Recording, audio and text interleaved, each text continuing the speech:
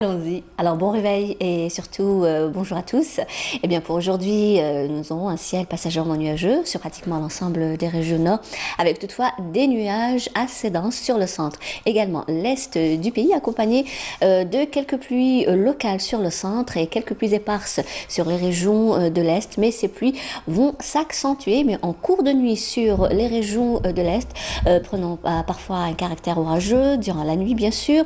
À noter des vents assez forts sur pratiquement l'ensemble des régions euh, côtières, ouest, centre et est du pays, des vents euh, qui avoisinent les 50 et les 60 km heure parfois euh, durant la journée.